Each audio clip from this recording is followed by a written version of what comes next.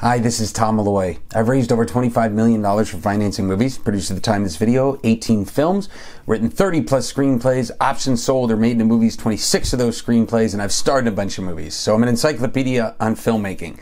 Today we're talking about a filmmaking internship, and what I mean by that is really a PA and a production assistant where you're going to be working on a film. Now, I had heard something on the on a film, not the last film I did, but the film before that, that PAs were getting harder to come by because they kind of expected a lot of payment, you know.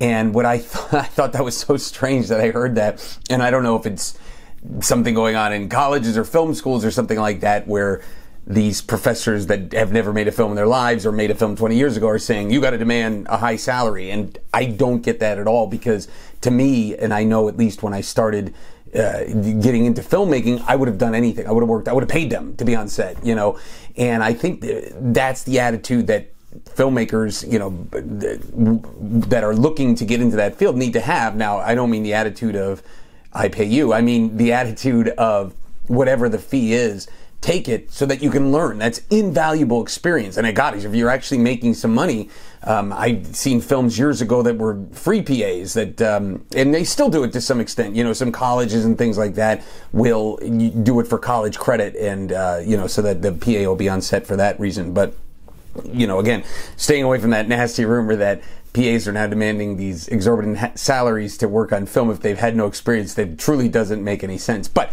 so for the purposes of this video, you, I want you to, you're, you're thinking, okay, I want to get a filmmaking internship. How do I become a PA?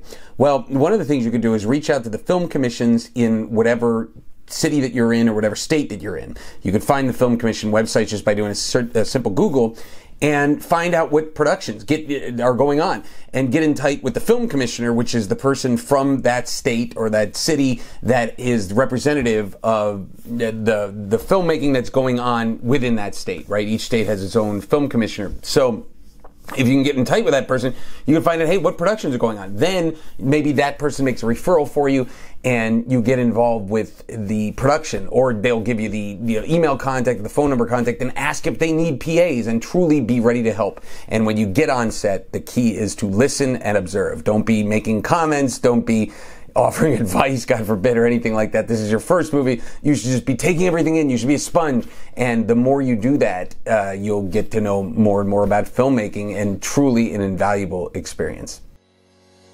While you're here, I want to tell you a little bit about the Filmmaking Stuff HQ membership. This membership has every video course that you need from film funding to film production to sales and distribution. It follows a path from video to video to get you from that idea in your head to raising the money to shooting it and then going out there and selling it and turning it all around and making another one.